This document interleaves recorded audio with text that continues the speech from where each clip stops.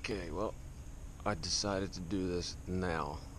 The uh, the butterfly fluke thing before my neighbor's dog woke, wakes up, and uh, it already did. Mike, I had Mike Bailey call me to tell me to tell, so I could tell him how I made out after he left, and I was talking to him way over by the fence there, and I was being really quiet, and the dog came out, started barking. I don't know if the neighbor came out and said something about it. If not, the dog, I don't know, maybe knew that it was going to get a knife thrown at it. Not really.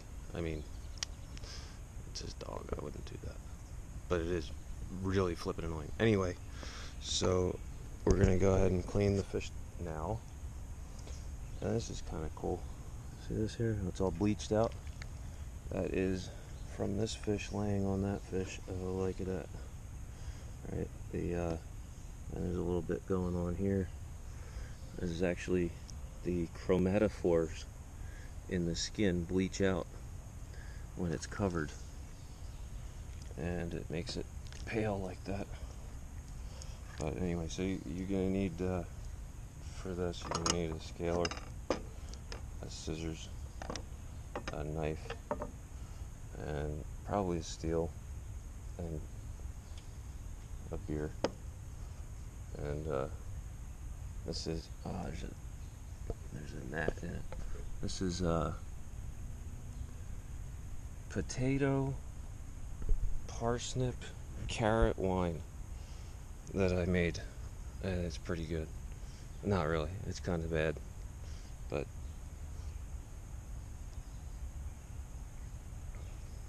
Oh no, that's tomato wine. that's a failed experiment. That's tomato wine, I think, and it's oh, whew. we won't be drinking that. Oh, that's terrible. Don't ever make tomato wine. Oh god, that's freaking horrible. All right, so here we go. I'm gonna scale them up first. We're gonna do this quiet and quick before the dog wakes up. Start at the tail, head to the head towards the head. Alright, we're going to leave the head on these. So we're going to scale it all the way up. Ah, oh, it's a good thing I'm wearing clean pants, huh? We're going to scale all the way up to the head. And you don't need a fancy scaler like this. You don't need to, you know, even a knife. You can, you can do this with a knife. I, I would, but I'd probably cut through the skin with this. You can, you can do it with the knife, but not too good for the knife. So this would be good for like stuffing, uh, to bake in the oven, or you could remove the bone. You like put kind of like a bread stuffing, or a, I think they do it with uh, uh, what do you call it? Fennel. They stuff it with fennel and vegetables and it's put either you know like wrapped into foil, put on the grill. That's a popular thing to do with it. I don't. I'm not into that. Uh, you know, if you're gonna steam a fish, steam it. If you're gonna cook it dry, cook it dry. But to put something on the grill wrapped in foil means it's gonna steam. So why even put it on the grill? You can fish works really fish works really well uh, microwaved. If you put it in the microwave, um, it cooks really fast. And you can cook all fish in the microwave. You can cook uh, scallops, shrimp, clams. You know, I work when I was working in seafood a lot in retail. Uh, I would bring home, you know, at the end of a long day, I didn't want to go to the food store, so I just shop it, you know, shop at work, so I'd bring home, you know, half eight, eight little necks, half a dozen dry scallops, half a dozen peeled deveined shrimp. Just bring them home, put them in the microwave, boil some pasta, and put some butter in it at the very end. That's another thing. You know what? When you're cooking fish, no matter how you cook it, if you put butter on it in the beginning, the butter's gonna melt off. You're not gonna get the flavor from it. So a pat of butter at the very end will will, will go a lot longer, go a lot farther than a pat of butter um, in the beginning, because it'll it'll all just kind of disappear. My words of wisdom for the day. Thank you. So every step, clean up after that step. Oh, if you haven't seen them, if you want to know how to fillet a fluke, check out uh, how to fillet fluke uh, or filleting fluke left and right-handed. I think that's what I called it, or I'm gonna call it. Having a little trouble with the edit. A lot of trouble with the edit. I got a. New software and it's not it's not um yeah one of these days I'll figure this whole thing out alright so what we're gonna do is essentially we're gonna take the backbone out of this thing alright and we're gonna leave the head on and then we're gonna remove as many bones as we can we're gonna leave just the uh, the bones up here in the collar, like this bone. Like remember when when we did the striped bass, we filleted the striped bass. There was this bone here and the wing. Remember the wing? This is the wing on a fluke. It's considerably small, smaller. So there's this bone here, and then there's some bones right right here, but really not too bad. All right. So what we're gonna do is we're gonna just cut these ribbon fins or the uh, the dorsal fin. We're gonna cut that kind of close. I'm not gonna cut into the meat. We're gonna cut this kind of close. You're not even seeing it, are you? There we go. See that? So we're just gonna go right up like these. Yeah, it was a nice night tonight. It was kind of cold on the way home, which was kind of good because I. Uh, could have fallen asleep very easily on the way home. Alright, so we're going to do two of these. It's been a while, so be patient. Oh, we're at seven, minutes, almost at eight minutes. This is going to be it's going to be a longer video. I thought maybe I could get it done. I probably should have scaled one of them first, eh? Well, anyway. If you want to know how to do it, I guess you got to watch the whole video. Watch the whole video till the end. And these scissors aren't the greatest, but uh, the other ones are wrapped up in a big blanket with all the knives, and it's like a safety hazard for somebody in my state of mind to be unwrapping a huge blanket full of knives. So get what you get. Alright, so next step, we're to come in here and Remember I was talking about that bone right here? There's uh, the skull bone that comes back here, and then there's this bone right here. And this bone is attached to down here. It's, it's not like a hard attachment, it's loose. So when you go like that, see that? That bone is loose. So we're to get the knife behind that bone. And we're just to clear it. We're to free it up. Alright, and we're to come around the front like this. And we're to free it up on the front. See that? And unfortunately, you do have to cut through some bones when you do this. But it shouldn't be too bad. Uh, and I did not sharpen. I didn't ask my son to sharpen my knife yet, so it is not terribly sharp still. Alright, so that's that I apologize, I'm kind of out of practice by doing, doing this here. Alright, so we're going to go ahead and get the gills out. Alright, and we're going to cut down the belly here. Okay, you could do this with the knife. I prefer to do it with the scissors. Yeah, you don't want to cut through the bile sac necessarily, but oh yeah, and these these fish, I can't wait to see if there's anything in either of the fish's bellies there was some kind of bait fish in the water with the shrimp but um, Yeah, he's got nothing in his belly. Well, I mean, he's got nothing fresh in his belly. I can smell he's got some uh, some nasty stuff in there.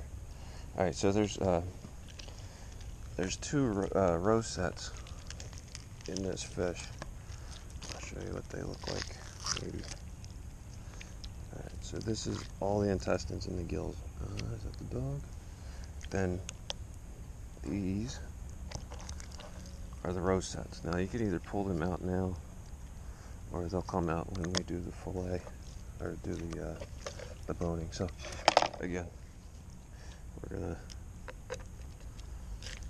free up this. Whoops! Ah, I just got my pants all dirty.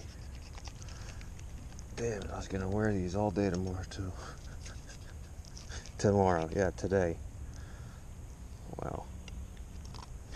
Alright, so we're just gonna free this bone up here. Right? And I'm not breaking any speed records with this one here, but I will get it done. So that's that. That's that bone. We're gonna come in, free the belly up so we can get in there and remove the guts. We're gonna clip the gills right there. There we are. Uh, yeah, we can just pull them out. Spoiled with the tools here. And Mike's a madman. He's he fished till one. Uh, no, it was actually like 1.30. Uh, something like that. Drove home. So 2.30, 3 o'clock slept for an hour, he said. And he's in Pennsville or Penns Grove or someplace right now at work, ready to work. And more than likely, we'll be doing this again on Saturday night. Very likely we'll be doing it on Saturday night. Alright, so I'm gonna get, I'm gonna put these somewhere off of my cutting board. Yeah, they can go right here. Perfect. Alright, so that's pretty good. One thing you want to make sure you do when you get in here, see that membrane that's on this bloodline right here? You want to kind of puncture that, like liberate it, so that when you blast it with the hose, it'll be nice and clean. And you kind of got to blast it really hard to get it all to come out.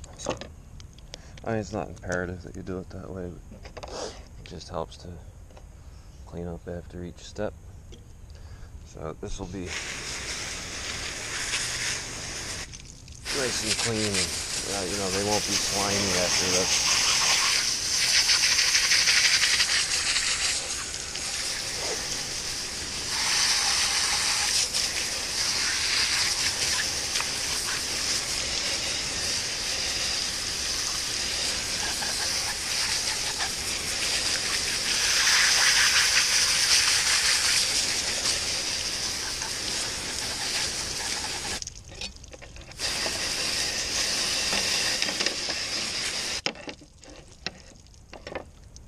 Okay. Good, good.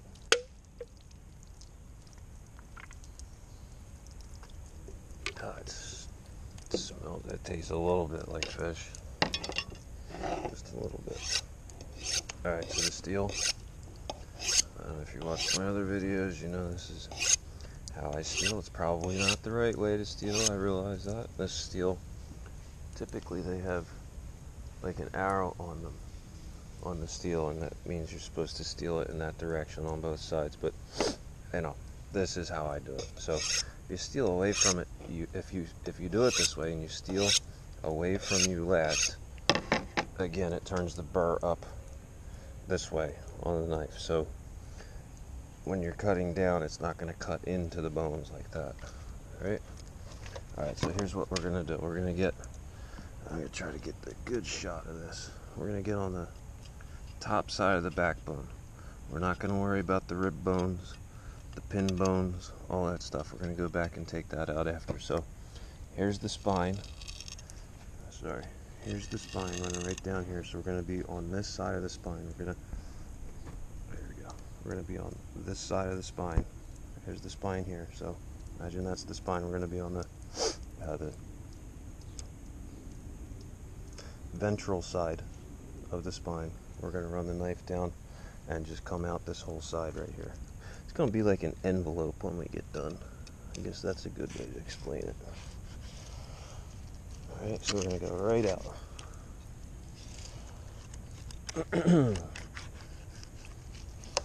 Alright, and then we're going to, it's just like filleting now, but we're not going to go out the other side. Out. Oh, you can't see it, can you? Alright, I'm like, I'm doing the limbo here so you can see really well. So we're going to go down the other side of the knife. You notice the knife is on a pretty decent angle. It's not flat like that, right? We're going down that side of the backbone. We're going to just draw it all the way up through these pin bones, okay? And if you notice I'm using the tip of the knife, it's going to dull really quick. Alright, so now this is kind of tricky, can be kind of tricky, but you, you want to go just like you're filleting it. You just want it kind of liberated up here towards the head. Alright? And then you just kind of walk the knife just to the edge of the other side. Okay? So you gotta be kind of careful. You just kind of tiptoe through the, the fluke. Okay? Just like that. And you'll see when the ribbons they don't really matter right now. Okay? See that? That's pretty good eh? Now I guess we'll go through while we're working on this side and we'll free up the rib bones. Okay? Now once you get the knife started bear down on the knife. You see that? Now I'm pressing down. You see how that meat is the flesh is moving when I'm pushing down you can take a really, really thin sliver of, of meat off with that, doing it that way. Okay, so you're not wasting fish. Alrighty? Alright, and then the other, see there's no, no bones in that, no bones there, no bones down there. The only other bones that are here are the pin bones. And they are right here you can feel them if you go from the head towards the tail, and they run back to uh, halfway between the pelvic fin and the vent. All right. Now I felt I felt the knife run through something there, and sure enough, there's a bone. Uh, that's a good way to investigate if there's bones. Just run your knife down. Uh, and if it's the tip of the knife is jumping over bones, you'll feel it. You'll definitely feel it. Okay, so this side, we're gonna do the same thing, but we're gonna we're gonna pull up on the knife. Okay. Now again, it's important. Bring your work to the edge of the table. All right. So you see the knife going in there. See that? That's what we're doing. All right, and we're just gonna come out the other side. Now, you got to kind of deal with the uh, the this part here, and you can bisect it real easy. See that? If you get right in between uh, where the pelvic bones come together, you can get in there. Whoops, you can get in there and uh, cut it in half real easy. But once you get down to this point, right? Um, sometimes it helps if, let's see, I'll show you here. All right, so we're just gonna go, this is this swipe, we're gonna go into the backbone. All right, and then just walk the knife through.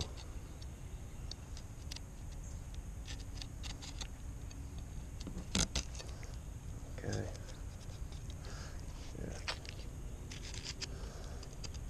I'm like, I, I should turn the camera around and show you how I'm standing. It's not very natural how I'm standing, so that you can see what I'm doing. Not very natural at all. Um, yeah, I was gonna say, you can clip here, okay, clip here, if you want the tail to be together. So it'd be like that, almost like having a stitch in it, right? but we're just gonna leave it out. Maybe I'll do the other one that way. I'll show you how to do that. But now, see, we've gotten the whole piece liberated with the. You can't see again. Gotta get in the limbo stance, the limbo position for you. So we're gonna just keep going up, right? And then here, okay, you just cut where the where this the spine, the rib bones, they're hinged right here at this spot. If you get right in that hinge, you can just cut through one, and then the rest of them it'll just right follow right up through. Terrible grammar, but hopefully you get the idea. All right, so here's an important part here. You don't want to cut through the skin on the other side, right? And once you get it pretty much all liberated, you use the scissors. Once you get it all liberated, right? You want to use the scissors and just cut right through one of these uh, vertebrae near the uh, near the head. Is that cervic vertebrae or cervic? Is that the right word? I forget. I'm very tired. All right, so here's the deal. When you get it to this point, once you get into the ribbon, you can take this the scissors here, right? And you can just run right back like this.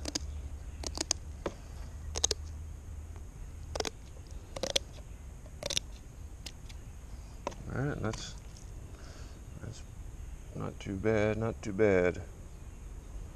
It's always a little bit shakier up here because you're you're working in the fish and you, you, you can't really kind of see where you're at, where you be at. Alright, so this side is boneless, right? This side still has the rib bones, still has the wing bone, and still has the pin bone. So we're going to take care of that right now. Oh, and I saw a bone on the fin. Here's a here's a bone. Ah, I'm gonna get stuff all over my pants if I squat down on the table. See that bone right there? So we're just gonna go under and out. That's good to go. Alright, so the rib bones on this side are gonna be a little more difficult because we have the head that's kind of in the way, but it's the same thing. Get the knife started and you can actually, you can do this from this side, be easier. Flip it around. Now, you don't have to cut the belly, you don't want to cut the belly off. All you want to do is liberate the bones here. And they only run back right about there. I mean, they are probably back a little farther, but when you cook them, they cook out. You know, they're so soft. It's like shad. You can cook shad, American shad, uh, for like two hours at 250 degrees, and the bones will cook out. All right, so here's the uh, the pin bones here. There's the pin bones here. We're just gonna go down one side of them, down the other side of them. Oh, I missed the, I missed the rib bone there. Down one side, down the other. Turn the knife flat, and they'll come right out. See that? There's nothing, nothing special about.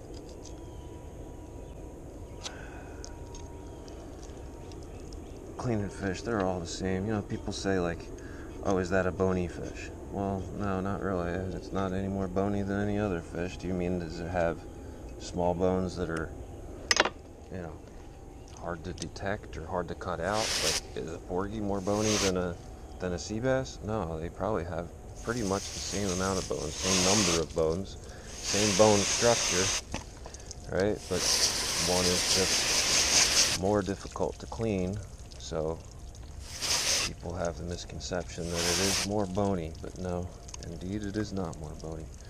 All right, so here we go. That is a a fluke. Oh yeah, you can see it again.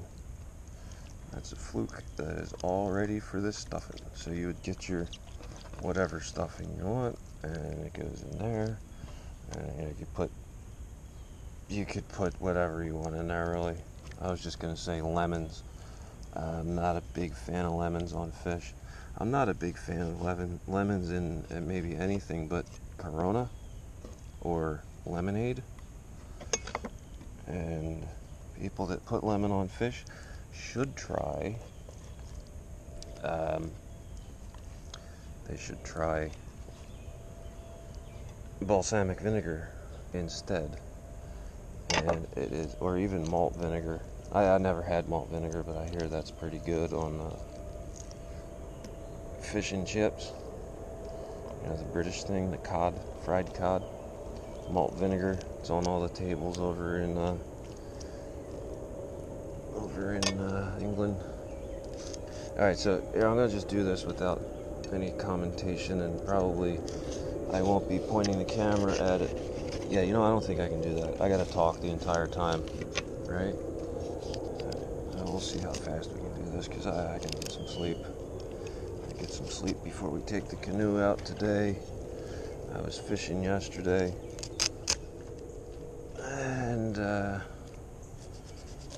I'm taking the canoe out today, so I'll probably be fishing today. Yeah, obviously I was fishing last night too. That's where these came from. And yeah, towards the end of the trip, it was pretty cool. There was there was stripers busting all over the place, man. It was it was great. And would I, you know, like would I rather catch a 36 inch striper, or would I catch, you know, one 36 inch striper fishing all night, or would I catch, would I rather catch, you know, 10 15 inch stripers or six 15 inch. I'd rather take the 15 inch stripers. Absolutely. I'll take them all day long. I mean, the big ones are nice, but I like the sport and the little ones. You, you know, size your tackle down, and they're just a lot of fun. A whole lot of fun. And I caught my first largemouth yesterday for the season, which was pretty cool. And little, little Fred Jr. was there to see it. That was great when he was under the bridge. Now, we saw Freddie. Freddie heard me talking. Uh, you know, I guess apparently I have a distinct voice. He heard me talking up on the bridge. He says, "That sounds like Jimmy. I think I know that voice." So he comes up, and you know, Mikey and I were just we were just talking about him because I texted him earlier uh, about fishing last night, and um, I was asking Mikey. Um,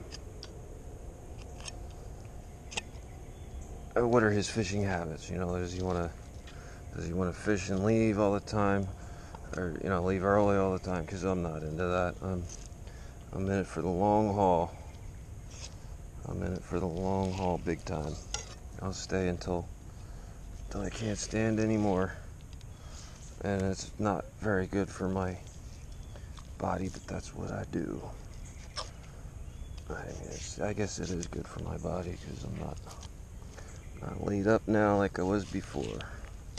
Alright, that's all cleared up there. Just gonna clean it up. Now, when you get it really good when I'm trying, you know, like when I'm not, uh, you're not even seeing it. I'm not trying to explain stuff and I'm just doing it like I've been doing it. And I don't have to explain stuff. I can actually do it much better. Like you'll see this one is to turn out a whole lot better than the other one. And my fish stock slash um, fish soup or fish chowder rather. Uh, definitely without measuring it's gonna would be way way way better than when I tried measuring because it really didn't work out all that well. Had to add a lot of potato flakes to it. So you know I'll probably wind up redoing that I mean, I'm gonna post the one because because I did it. You know, if you can't learn from your mistakes, you're not gonna learn. And I guess I gotta I gotta start measuring stuff so I know. So I know uh, about what's going on. Apparently, I don't know what's going on, or I wouldn't have made such a egregious error with my calculations. on the fish chowder. Alright, so again, we're just gonna clean them up, make sure there's no bones in it. Uh, I guess while it's this way, I'll cut this one out.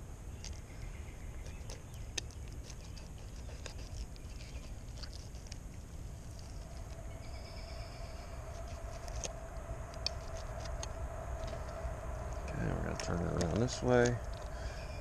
We're gonna clean these pin bones out. Yeah, that wine was really, really bad. I was hoping it was the potato wine. It was uh potato wine is surprisingly good. And no, that's not what they make vodka out of. Vodka's made out. I mean, they probably have made potato, you know, like potato wine into vodka at some time, but vodka's made with barley. Sorry. Sorry to bust everybody's bubble traditional vodka from Russia is actually made with potatoes when necessity dictates. And like when they don't have barley or anything else to make it with, barley, rye, wheat, you know, that, that type of stuff, any kind of grains, they'll use potatoes. But they, they can't just use straight potatoes, they need an enzyme, which is the barley, the malted barley. They could probably use malted corn as well, but they'd have to use a lot of it because it doesn't hold the same amount of enzymes as, as malted uh, enzymes as, as malted uh, malted barley. Malted barley has a lot of enzymes in it that can be used to uh, break the starches down in other grains and uh, vegetables. Yeah, you know what? When I, I when I get my my own pad, when this house sells, I'm gonna be doing some some winemaking and some home brewing videos, and I'm really excited to do that because I haven't really had the opportunity to do it here. Eh, not so much because it is a mess. It's it, you know, let's face it. I started this this hobby of making wine and beer the intention of making wine and beer in five gallon batches, but as it turns out, you can make a 15 gallon batch pretty much the same amount of time as you can make a five gallon batch. So that's what I wind up doing is I make a bathtub full a bathtub full of beer and wine like just got to make everything as difficult as possible. I do. And uh, those of you who know me know this is very, very true about myself, but I get good at what I do sometimes. Well, anyway, here's the here's the uh, the fluke flounder that's ready for stuffing, and they look pretty good. And now, when you're ready to serve this, yeah, the one I the one I gave you instructions on how to do is kind of shoddy compared to the one that I just did freestyle. Well, anyway, what I was saying is when you serve this, right, you can see this ribbon and these bones right here. They're kind of standing up straight there. So just imagine this thing's all stuffed and puffed out like that. You would take a fork and just go down right here, all right, when it's all cooked liberate this part with a fork and then just pull it off, right? And there's none down here. There's no bones down here. The ribbons are down there, but they're all edible. And then you got the collarbone here, and you got a little tiny bone here. So cut this off, pull this off, and you got a boneless butterflied fluke. That's it. That's it. Hope you enjoyed. I'm probably gonna have a uh, crappie slash largemouth bass fishing video in the canoe with Dylan today. I'm set tomorrow again. Uh, and well, maybe, maybe not. Depends on if we catch anything, or if he even wants to fish. He might, he might just say no. I don't want to fish that because you're kind of intense when you fish. I don't know what he's talking about. But anyway, thanks for watching. Uh, thanks for joining me. Hope this helped. Be sure and check out my artwork on jerseyjimfish.com. and you got to push the shop button. Uh, it's in the calendar. If I, if I keep this uh, theme, that's what it's called, a theme. Yeah, I'm really impressed that I know that too. All right. So anyway, uh, thanks for watching. Have a good day.